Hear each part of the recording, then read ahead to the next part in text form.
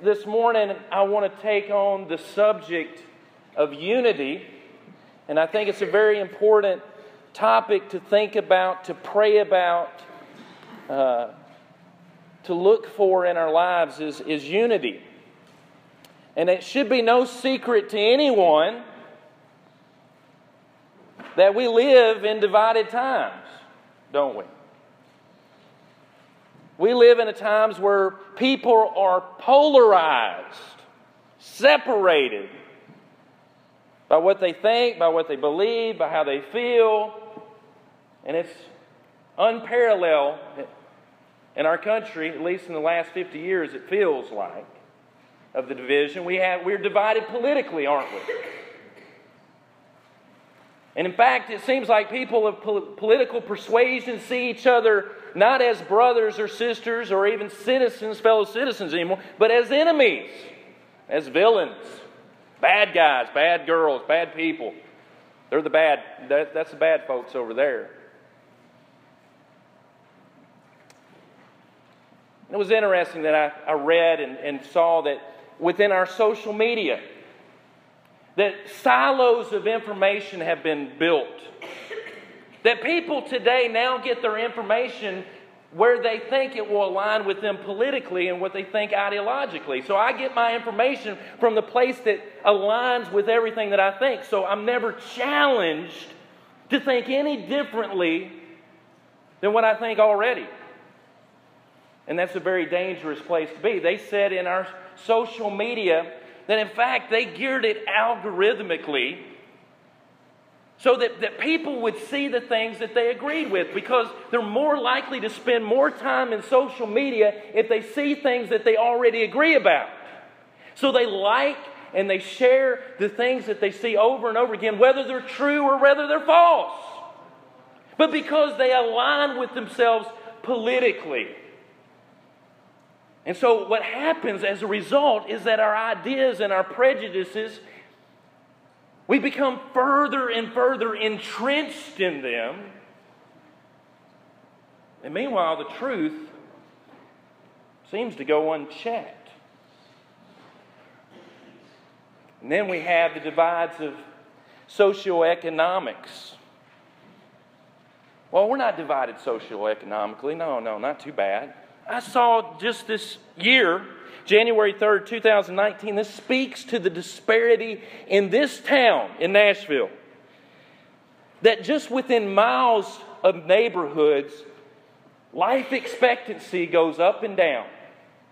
Listen to this South Nashville produced a life expectancy of 67.6 years, while the Sevier Park Community Center in Melrose produced an estimated lifespan of 77.9 years. 10 years difference in only three miles in this city. Then you go over to Two high schools five miles apart. The life expectancy for the neighborhood around Pearl-Cohn High School and Hadley Park is 69.8, while Hillsboro High School and Green Hills produced an estimated lifespan of 84.9 years, 15 years difference in who, who's living longer. Now, I'm not going to get into all the reasons and ramifications that that's happening. I don't have time. But it does reveal that there is a disparity in Nashville. That there are divides in Nashville. Not only are we divided politically, socioeconomically, we divide ourselves racially. And people propagate a fear of races, people, a fear of people who are different, a fear Xenophobia, as it's called. One person once said it like this racism is man's gravest threat to man because it's the maximum amount of hatred for the minimum amount of reason. That you got the maximum amount of hatred and violence, but you've got the least amount of thinking going on with it. We're divided. You think I'm going to leave out religiously we're divided? No, I'm not going to leave it out because I'm a preacher. But we're divided religiously, aren't we? World religions, denominations. And Jesus himself even said that his teaching would divide people because there would be some people who would accept it, there would be some people who would reject it, and there would be some people who would just be indifferent to it. Jesus said that a man's foes shall be they of his own household because of his teaching. And there's also the idea in Scripture that we're engaged in a spiritual battle in life, that there is a spiritual warfare within ourselves and out and about. But the Bible says over and over again, we do not wrestle with flesh and blood, but our warfare is one of a spiritual nature, that our weapons are not carnal, but we're in a spiritual war. And even though there's differences and even though there's these divisions, the answer has never been to hate or to propagate violence towards those people who are different than we are. Isn't that right? That Jesus said, You have heard it said, you shall love your neighbor and hate your enemy. But I say to you, love your enemies, bless those who curse you, do good to those who hate you, and pray for those who spitefully use you and persecute you. And even though we are in a spiritual warfare and in a spiritual battle, God says never hate and never hurt. Paul said it like this If it is possible, as much as depends on you, live peaceably with all men. Blessed are the peacemakers, for they shall be called the sons of God. You know, we're all in this together. Dr. King said it like this We are caught in an inescapable network of mutuality, tied in a single garment of destiny. Whatever affects one directly affects another indirectly. So if you hurt someone in your neighborhood, it hurts someone clear across the country. If you withhold rights and if you hurt people, then you hurt everyone. And with all the division, the church represents that step closer to heavenly unity. That when I look out into this room today, I see people of different races, that I see people of different political persuasions, I hope you won't start talking about that right now. That I see people of different socioeconomic backgrounds, different educations, and so on. But yet we are in this room together serving God and worshiping God. That we have been brought together despite our differences. So the church represents that step forward to heavenly unity. And we know that there is a power in unity, isn't there? Just on a practical level, it doesn't go unnoticed, does it? That when there's a team that's functioning well together, when there are people in unified together, working together, things get accomplished, don't they? We see it. Aristotle once said it like this the whole is greater than the sum of its parts. That when we are together, when we are unified, we can accomplish so much, so much more than when we're divided. Makes you wonder why people are trying to divide us. Because if we were unified, where do you think the power would be? But there's a blessing also in unity. The psalmist of old, behold how good and how pleasant it is for brethren to dwell in unity. It's a wonderful thing when you see a unified church. It's a wonderful thing when you see people unified together. And there's also a need for unity. Jesus prayed for unity in John chapter 17. He said, Just as you, Father, and I are one, may they be one speaking of the church, speaking of you, speaking of me, that we may be one so that the world might believe. You see, there's a need for this church and for Christians to be united. Because the longer we stay divided, the more excuses that anybody has to not believe it. And Jesus says, just as God the Father and I are one, I want you to be one. I want you to be unified. So, how do we achieve unity? Ephesians chapter 4 gives us this picture, this beautiful picture of unity and how to achieve unity. And the first way that we see unity, this godly unity, this spiritual unity, is that there has to be, first of all, an individual spiritual basis for it that unity falls on the individual first. That it starts with you. It starts with me as an individual, whether I'm going to have unity. And it says it like this in verse 1 I, therefore, the prisoner of the Lord, Paul is a prisoner at this time, writing this letter. Beseech you, I beg you, listen to this, to have a walk worthy of the calling with which you were called the way that we achieve unity is, first of all, understanding that I have a responsibility to God. That first, before I can have unity with anybody else, I have to be unified with God. I have to be unified with Him. And that's where it begins within ourselves, it begins in our character. Begins with integrity. And the best way that I can illustrate this for you today is have you noticed? That the people who don't get along with people don't get along with anybody. There are some people who just don't get along with anybody, right? They're contentious because ultimately they haven't took a step forward within themselves. That they don't have that inner character, that inner integrity that is required of us to walk unified with each other. And if someone doesn't have that integrity, that, that character, then you can bet that there's going to be contentions, there's going to be disputes, and there's going to be problems, and there's going to be division because that's who they are. That's their modus operandi. So unity has to begin within ourselves. And listen to how he describes this. Verse 2 If you want to have unity, the first thing it says, with all lowliness that it begins in humility. That if we're prideful, we're not going to have unity. If people are prideful, that we're not going to achieve unity, are we?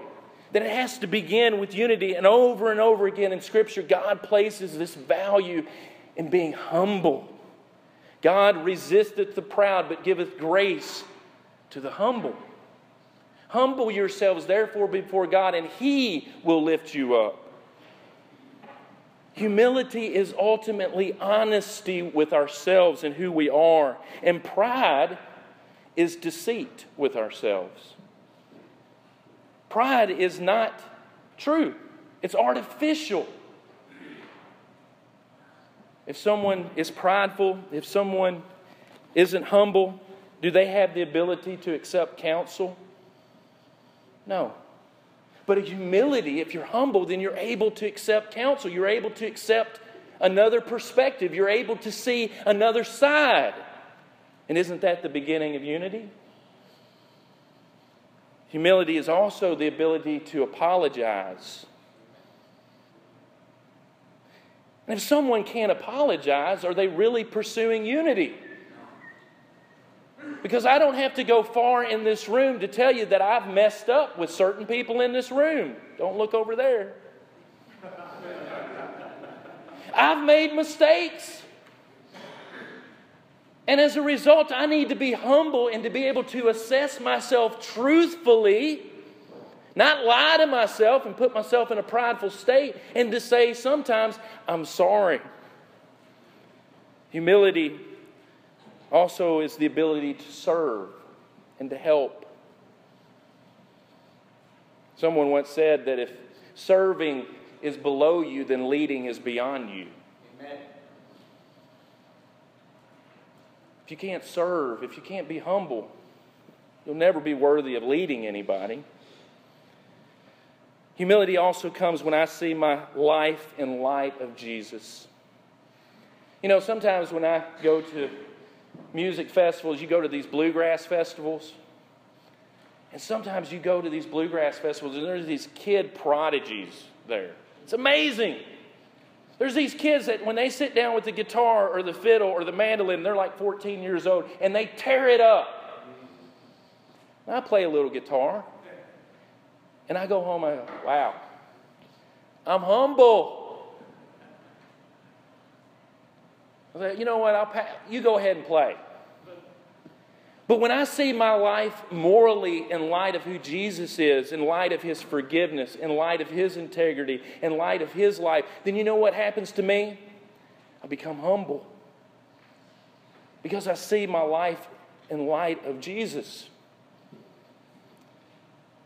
It also says that the individual should seek gentleness. If someone isn't gentle or meek, and what that means is to be emotionally appropriate to the situation. That there's sometimes there needs to be an outcry, there needs to be anger, but it ultimately means that I'm appropriate in my anger. That's why the scripture says, Be angry and sin not. But being meek and being gentle with my approach and who I am, that brings unity, doesn't it? Also, long suffering, it says in verse 2. And long suffering means patience and not to have a retaliatory spirit about myself. There's some people, if you mess up, if you offend them, or if you do something wrong, they're, they're plotting immediately to get back at you. But that's not patience, is it? That's not forgiveness. And when you have those type of people, it's hard to be unified, isn't it? that retaliatory spirit. One person once said, one minute of patience equals 10 years of peace. That if I'm able to control myself, if I'm able to keep my mouth shut for just one minute, it might save me a lot of heartache. Long suffering, and it says in the scriptures that the long suffering of God is salvation. That God waits on me that God waits on you. It also says that we're to bear one another in love, that agape love in the Greek, which means unconditional. It means that I'm desiring to see the very best for you.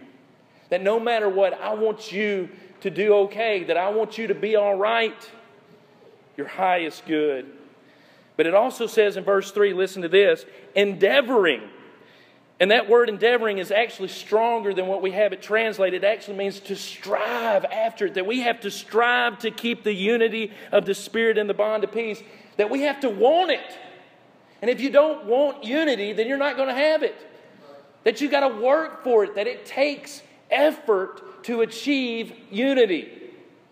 And we have to strive for it, endeavoring and work at it. But it also says, so that's the individual basis for unity, that I have to begin to, first of all, look within myself in my character to get unity. And then, number two, we have to share values together. There is a collective spiritual basis for unity. And listen what he says, verse 4 there is one body, there's one church. And the body of Christ, the church is described as the body describes, first of all, the unity that we have with Christ. And that's an intimate thing that we are so described as being his body. That's how close we are to Christ when we are a part of his church. How many of you are walking around without your bodies? None of us. I see head and body in this room today, and I'm glad of that. But in the same way, our connection with the Lord, He is the head of the church, the body. That one body, that one church. And we are unified with Him. It also shows that there is diversity among the members. Not everybody is the same thing in the body of Christ. We're not just one part of the body, are we? That would look rather odd if, if we were just an eye. But we're not just an eye. We're eyes, we're ears, we're a face, we're a body, we're hands, we're feet. And it takes all of that diversity to make the body of Christ. And it says that every part does its share to cause growth in the body. It says also that one spirit, listen to this, one spirit, just as you were called in one hope of your calling. So there's one Holy Spirit that works in the midst of us. And that brings unity because there's one Holy Spirit, and the Holy Spirit works in two primary ways in our life. Number one, through the Word of God. The Spirit inspired the Word of God. So that's why we as a church turn to Scriptures for our authority because it is from the Holy Spirit. Holy men of God spake as they were moved by the Spirit of God, it says. And also, we have that Holy Spirit working within us. It says that Holy Spirit produces joy, peace, long suffering, kindness, goodness, faithfulness, gentleness, self control. Those are the kind of things that the Spirit produces. It also says that we have one hope.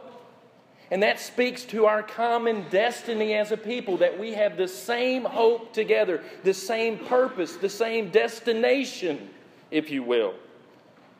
We have the same expectation. We're going somewhere together. We have to be together. And it's unfolding and it's unrealized. And this is what Jesus said in John 14 Let not your hearts be troubled. You believe in God, believe also in me, he says. In my Father's house are many mansions. If it were not so, I would have told you, I go to prepare a place for you. And if I go to prepare a place for you, I will come again and receive you to myself, that where I am, you may be also. One hope, and there's one Lord. That we all serve the same Lord. And that word Lord means as a servant unto a master, and it was the same term applied to the emperor. And it was also the same word that in the Greek Old Testament was applied to Yahweh. And it speaks of one Lord speaking of Jesus speaking to his authority and his preeminence. We serve one Lord. We have one faith. That we come to the Lord through faith, believing. And faith is the substance of things hoped for, it says, the evidence of things not seen. It also says one baptism. Some have likened baptism and they say words like an ordinance or a sacrament or a commandment. But what baptism is, is the most basic and initial response to the gospel message. That when we hear the gospel, we respond to it with faith and baptism. He that believeth and is baptized shall be saved. And as a result of these ones, these seven ones, which ends with one God and Father of all, who is above all and through all and in you all, we achieve unity together. In conclusion, we are stronger, smarter, better, safer together, aren't we? And the whole is truly greater than the sum of its parts. And we should endeavor to be unified together. Number two, conflict's going to happen. It's going to happen in friendship. It's going to happen in marriage. It's going to happen in churches. It's going to happen in the neighborhood. But we should see conflict as an opportunity to show that we care if you're in conflict, it's an opportunity to show what you care about. It's to bring clarity to the situation. And if we have that spiritual inner grace that's talked about in verses 1 and 3 of humility and love, then that conflict's going to go a little better, isn't it? And we also have to tune ourselves to the one. One way that it was illustrated was a musician Brother A.W. Tozer said that, have you noticed that if a piano is tuned to a tuning fork, to one tuning fork, then all of a sudden you have 100 pianists tuned to each other? Because they all tune themselves to the one standard. And I remember when I was a musician, and I went into the studio with a producer, and we were, we were getting ready, and we were these novice musician amateurs for a long time, and, and we didn't use tuners. So we would get up there and tune to each other. And we were never really in tune. We sounded horrible. I'll say that. But we finally discovered tuners, and that was electronic tuners. All you got to do is step on this pedal, and it tell, shows you how to tune your guitar. So all of a sudden, we sounded twice as good than what we used to. But when we went into the studio with the producer, we all had our tuning pedals, and we, hey, you need to tune up. We're recording. They're listening to everything. They're putting everything under the microscope. We want you to be in tune, boys. And our producer said, use the same tuner. Well, they're electronic. He said, No, you're going to use the same tuner just in case, no matter what, that if you all tune to that same tuner, you're going to sound the same. And if we tune our lives to Jesus Christ, then all of a sudden you're going to find yourself in tune with somebody else. And it will be so in tune, you won't believe it. It'll sound like an orchestra that's tuned themselves to the same tuning fork. We have to tune to Him, and then we're in tune with each other. And what a beautiful sound it is when we're unified, when we love each other, when we encourage each other, even despite our differences. May the Lord bless you this week. And remember to seek unity with those around you and also to spread the good news about Jesus because it's in that context that we receive a union with each other like no other. So today, if you're not a Christian, the Bible says to begin in faith, to begin in repentance, to confessing, and to be immersed. And we become unified with Christ in such a way that we become unified in a church together. Or maybe you're a Christian this morning and you need prayers of encouragement, prayers of healing. If you need anything, know that this church stands with you to help you and to love you. So if you have any need, we're going to sing this next song to encourage you. So if you have any need, won't you come now as together we stand and as we sing?